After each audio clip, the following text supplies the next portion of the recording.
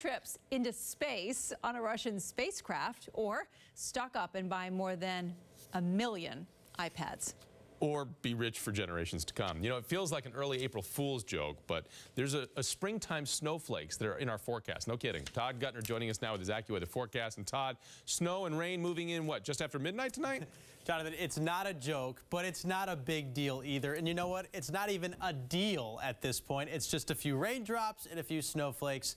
This storm is pretty small, and most of the heavier precipitation is going to slide to our south.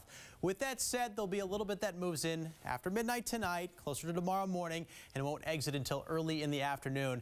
And a few spots south and west of the city, especially as you get closer to the Rhode Island border, could have a thin coating on the grass of snow or on the back deck. And as you get into elevated areas to the west, especially out near the Berkshires and the Connecticut line, there could be an inch or two of wet snow, slushy snow. And that's it, and it'll melt away by the end of the day, and we're in for a decent finish to the weekend, which I will talk about in a few minutes. Jonathan Kate? Todd, we'll see you in a few minutes. Thank you. It is a somber prom night on the South Shore. Tonight, as juniors from Silver Lake High School dance the night away, classmates hurt in a head-on crash with a school bus are battling serious injuries.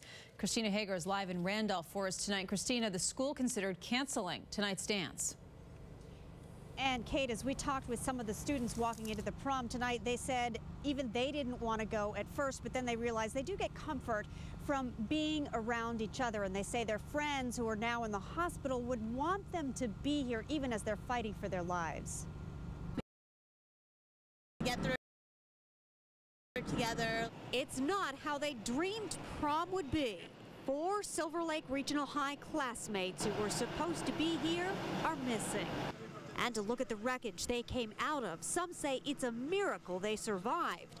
Three with injuries so serious, they left in med-flight helicopters from their school's football field. Then, hours later, the junior prom. None of us wanted to go. Yeah. None of us did, but we're here for them. We felt it's best to have them together in a place where we know they'll all be, a controlled environment. Police say this red BMW full of juniors on the way to school crossed the yellow lines, crashing into an empty school bus that had just dropped off a load of students. Officials say 16-year-old Monica Knight was the driver. Eliza Nantai, one of the passengers. The very morning of the dance that was designed to avoid this sort of tragedy. Students had produced a prom video promoting driving safety. The staff had arranged for kids to meet at the school and leave in chartered buses. No one who organized this would have predicted this. We deal with adolescents.